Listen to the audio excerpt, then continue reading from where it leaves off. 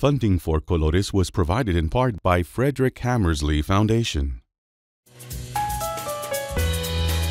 This time on Colores. Kathy Flynn shares stories of discovering and saving New Mexico's WPA art treasures. It's just an amazing thing to to see these things when you walk into a building and and see the, the story they're telling. Edgar Degas was recognized as a great painter, but the other mediums he used reveal a deeper appreciation of the artist's work. In the early drawings, they're very precise, but in the late works of art, such as the beautiful monotype of the man and the woman, it's like a finger painting by a genius. Rebecca Eaton, executive producer of PBS's hit series Masterpiece, shares how she initially turned down Downton Abbey. I must be the luckiest woman in show business because it went around the circle of other American television executives to co-produce and nobody picked it up. And I woke up and realized What made you wake up? Maggie Smith.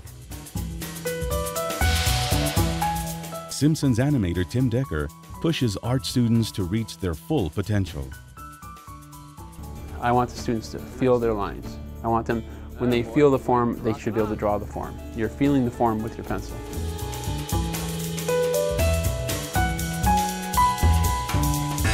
It's all ahead on Colores.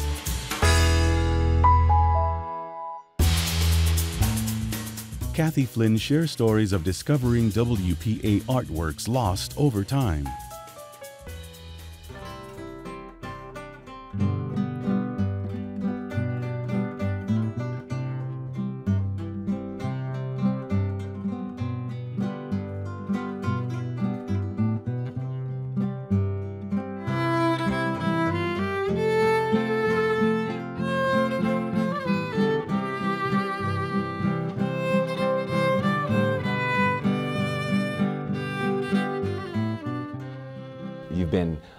Unearthing not just historic pieces of New Mexican art, you've been unearthing New Mexico history.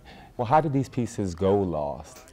Well, if some painting was hanging in somebody's office for 20 years and that person was uh, goes out of office and he's closing out his office and he's taking everything home, some of those pieces have gone home with them too.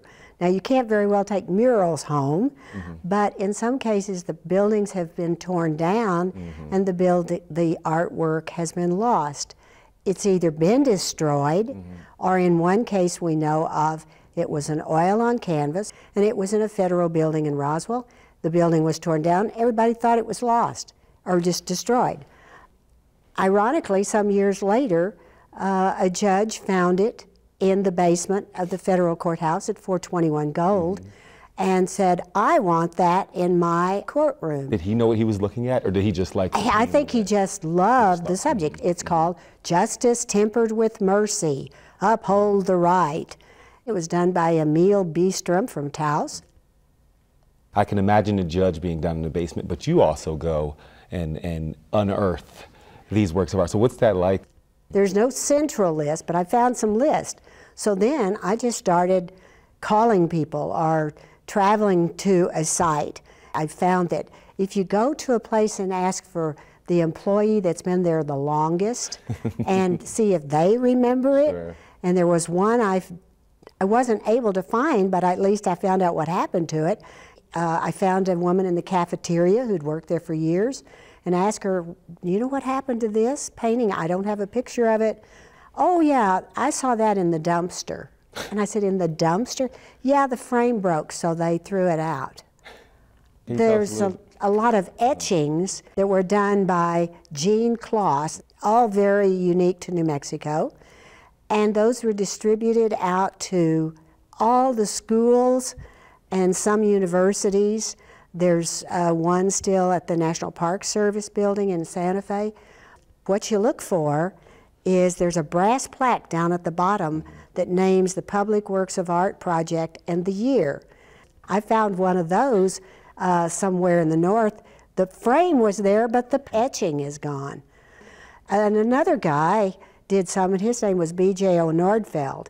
He did lithographs, and uh, Those are the kinds that really kind of move, you know, get lost. There's one in the state capitol building now that was sold in a garage sale and somebody found it and gave it to me to put into the capitol building. And these are federal properties. They belong to us. Well, and this is why it's like treasure hunting, because you don't know what, people don't necessarily know what they're looking at.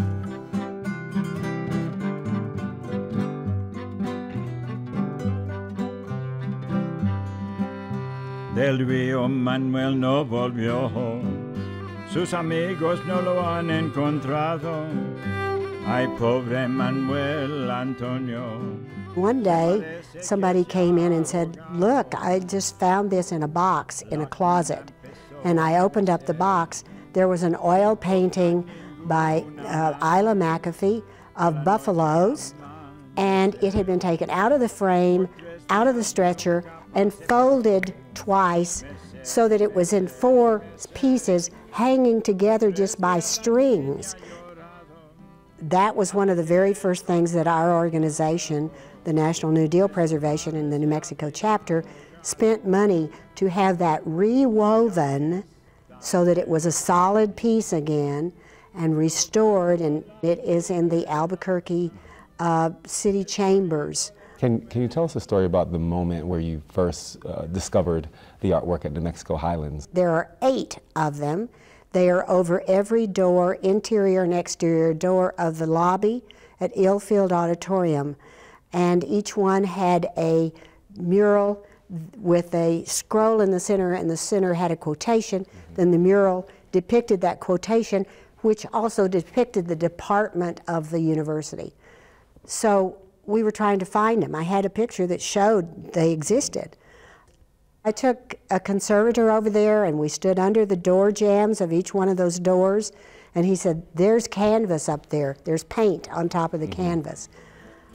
The end result, we found that there were mm-hmm. five and six coats of white paint covering all these murals. So when we then took another conservator over there to restore them, when we got a lot of money to pay for it, they just carefully, with chemicals, took all the paint off and the murals were there.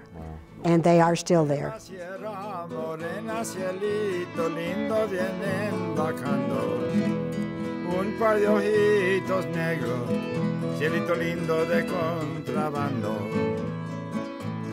Ay, ay, ay,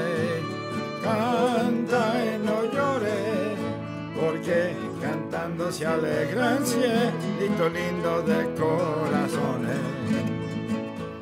Una flecha en el aire. Why is it important to preserve these things? Because this is our legacy from the 30s and 40s, a time that was really difficult here in the state. We were part of that Dust Bowl era. People were struggling, the drought, it was awful. And there was no jobs. It's a time much worse than what we're in right now.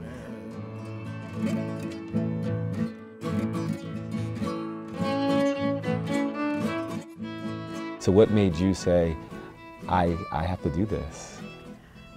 I felt it was something that everybody needed to know about and look at and appreciate. It's just an amazing thing to to see these things when you walk into a building and, see them, the story they're telling. It's the history of a town or a county or the people or what they did.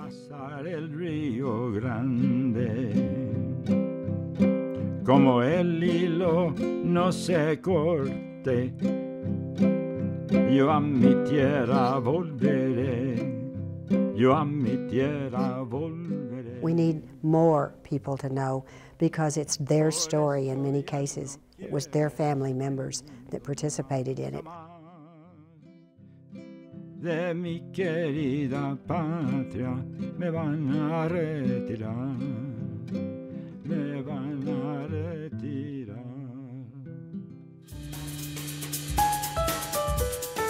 Edgar Degas, the private impressionist, illustrates the creative genius and the extraordinary world in which he lived.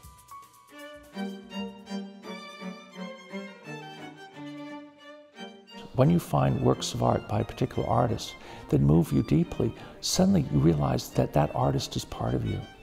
And that's what happened with me with Degas. Somebody once said that you can learn how to paint in a day, it takes you 25 years to learn how to draw. And so everything comes out of drawing, not painting with Degas. And so my exhibition here, that's based on his drawings and his etchings, which are a form of drawing, are very much into the wheelhouse of what he's about as an artist. There are his prints, there is drawings, there is one sculpture, there are monotypes, there are photographs.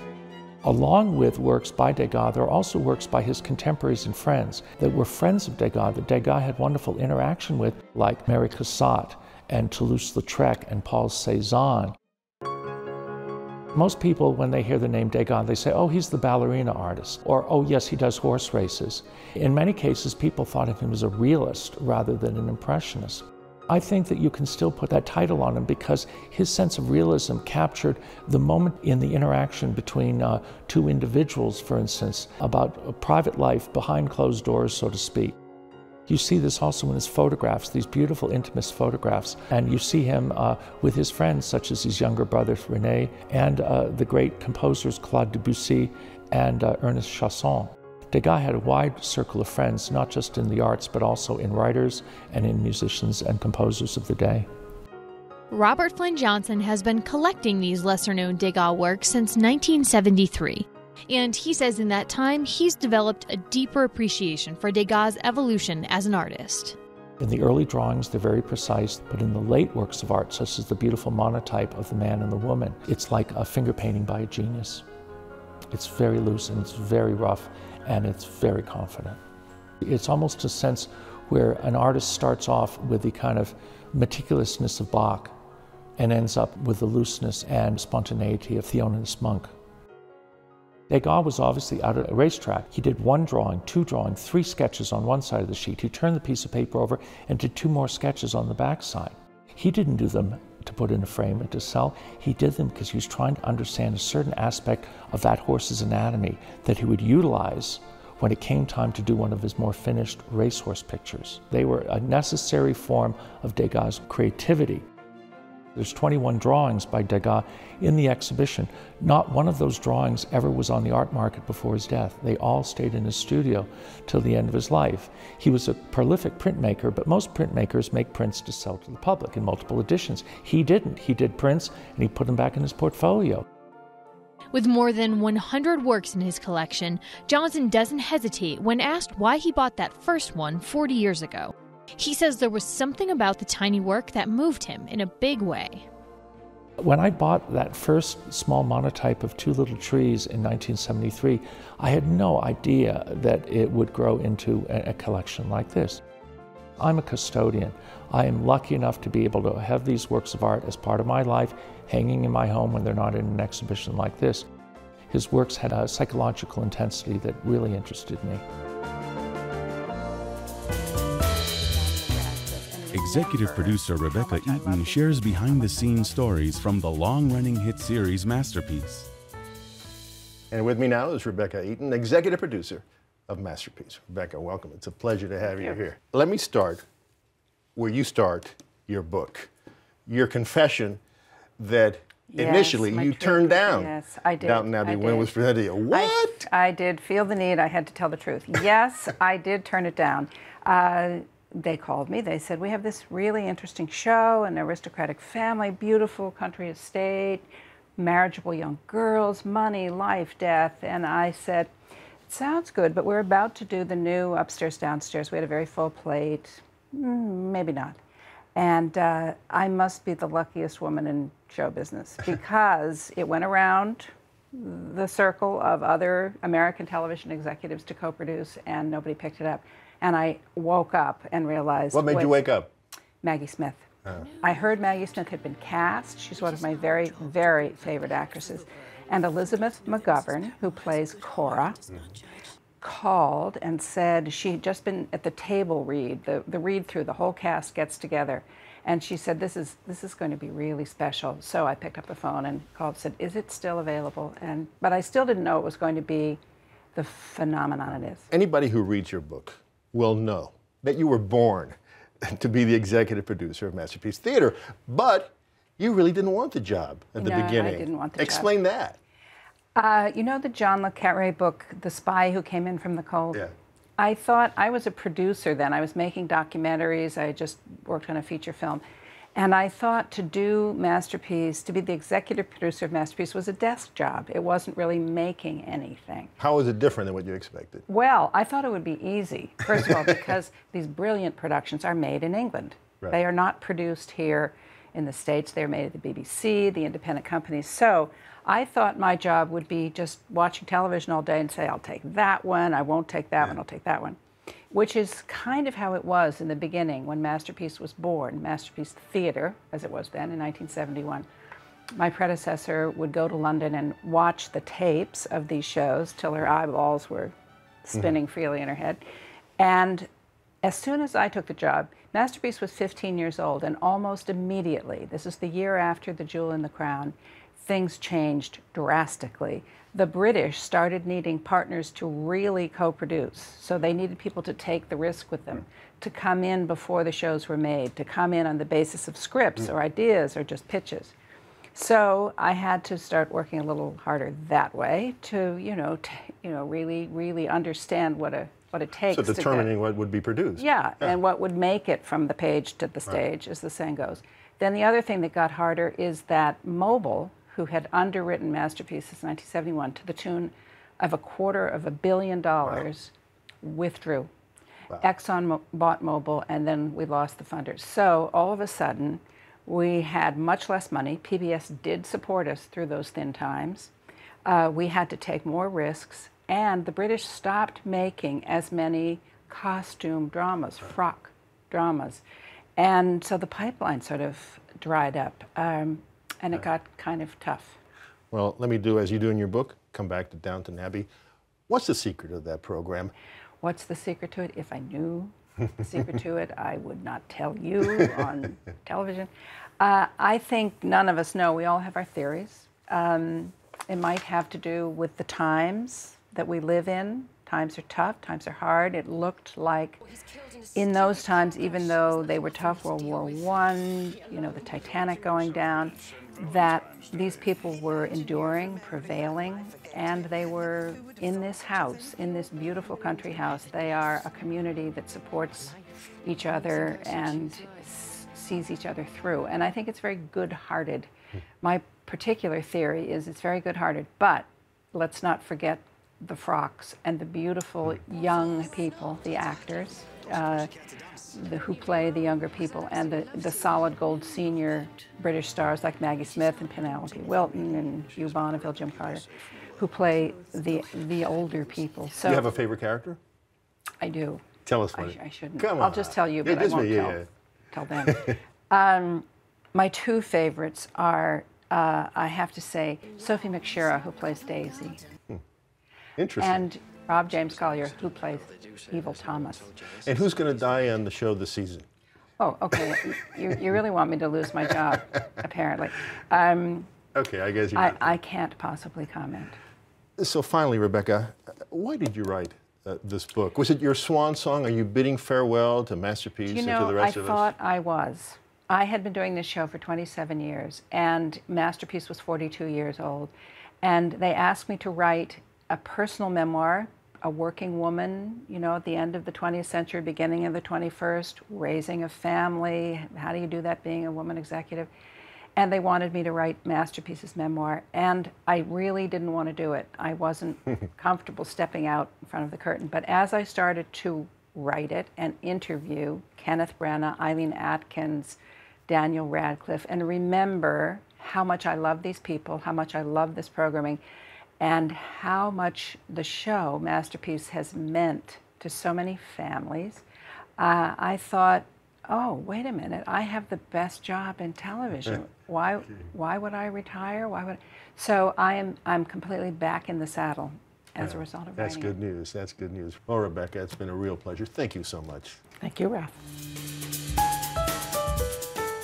Simpsons animator Tim Decker teaches young artists the importance of line and movement.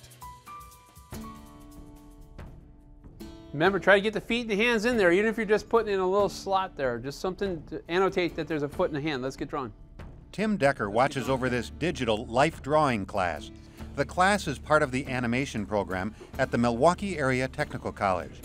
Decker offers classical instruction in a new age format. It's less messy.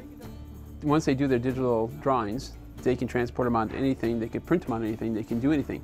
Whereas in the old days, if you were drawing on paper, it would be going through reams and reams, sketchbook after sketchbook. And a lot of these drawings, you know, forgive me for saying, but are just quick studies. They're not fine art, they're not anything. So there's a lot of paper that was wasted before. But it's different because they don't feel the paper. You know, you'll, you hear artists say that I can feel the paper, I can feel the difference. But they get used to feeling the screen now, but they don't have that texture of the paper. That's one of the main differences I think the students encounter here. I have gotten used to it. Um, this is probably my uh, third semester of being on these pretty frequently. But it's definitely, it's way better than just paper. It's like, like Tim was saying, like it saves paper. Your hands only get messy from your own hands dragging on the screen. But it's, it's really awesome. Like, and it, it's, you know, when you have like a different, like a Wacom tablet that is not the monitor, then you kind of, you just lose something, you know what I mean? You just have a disconnection to that. But this you can just, you don't like it, throw it away, change it. You, you can undo, it, you can't undo in real life. Decker has his class firmly rooted in the fundamental principles of the animation arts. He blends the practical, the theoretical, and the creative, and that gives his students a competitive edge. I have the students drawing in a grip that we learned in one of my life drawing classes, and it's basically what I'm forcing them to do is to draw from the shoulder, and that's classical training. You need to draw from the shoulder because all the movement is fluid from the shoulder.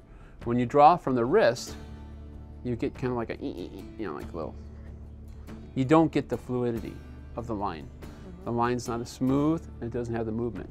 So when you go to the grip, you get a smooth flowing line, not a broken little scratching, called chicken scratch. And I really don't want that.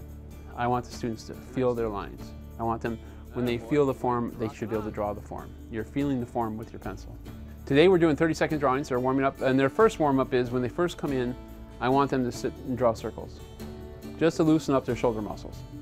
And then we go into 30 second drawings, which they basically capture in 30 seconds. They should capture, there's your line of action.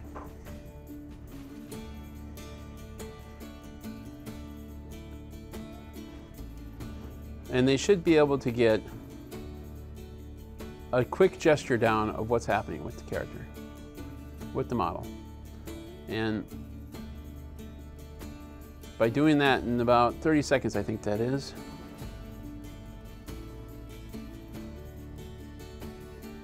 that's really all I'm looking for. That's really just a quick gesture, just a quick movement of the character. It's basically making them break down the character, break down the model, if you will, to shapes. And once they get the shapes down, they'll get the movement. And then the next session, they'll go three minutes, and then we might work into five minute poses later on today. The purpose of the drill is to, to teach shape and form and volume, to get the character down, to tell a story with your sketch. And now that the model moves in sequential order, okay, they're breaking down animation and breaking down movement in their minds. And you know, a lot of them are like, well, this is kind of boring, she just moved this. But you're really breaking down the animated movement. So later on when you're animating, you can say, how does, how does somebody throw a punch? There's a punch being thrown. And they'll be able to remember how they drew that in sequential order. That'll only help their animation. Decker is a seasoned professional. He worked as an animator for the Simpsons TV show and was animation supervisor for Disney Interactive. These here are sample portfolio pieces from a Disney portfolio. These are quick sketches. These are the same, same thing we're doing here, three minute drawings. And I think some of my students have, are getting pretty close here. Over here is my students, over here are the portfolios for Disney. So you can see my students are pretty close to getting there, if not there. I mean, we have very talented students. The film and game industries aren't what they used to be. The world is changing and changing fast. And Tim Decker is providing the talent and resources to not only keep up, but to raise the visual bar to new levels. You know, MATC offers a lot of great valued programs here. And, you know, as a matter of fact, today I was talking to two universities that want to become part of MATC, to use the technologies that we have here because we're so forward thinking. We were the first school in the Midwest, I know, if not the United States, to do digital life drawing. We've been doing it now, this is our sixth year. So we were one of the first to be doing it. And Wacom, who make the Cintiq tablets, said, nobody's ever done this before. This is awesome that you're attempting this and doing this. So I really think that's you know a nice feather in MATC's cap for being forward thinking and staying up with technologies and bean green.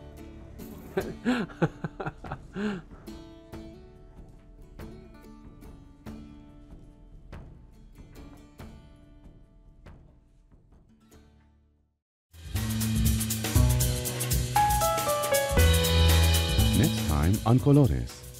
Using ice books and other metaphors, eco artist Basia Irland wants everyone to understand the complex issues of climate and ecological disruption. It's a kind of knowledge that I hope people will understand about the importance of fresh water. The eruption of Mount Vesuvius in 79 AD has long been an inspiration to artists. Pompeii really goes into artists' minds in a much deeper and more complicated way. Photographer and visual artist Lynn Parks gravitates to stark urbanscapes. The things I'm drawn to tend to be decayed, attached together. They become a metaphor for my own personal experience with um, a rare disease that I've had since I was a child. Seeing through a high-powered microscope, Karen Gustafson creates fantastic ink drawings of fruits and vegetables. By looking at the microscope, you're seeing the topography, so it really becomes its own landscape at that point, and just the complexity and the intricacies that you find are just amazing. Until next time, thank you for watching.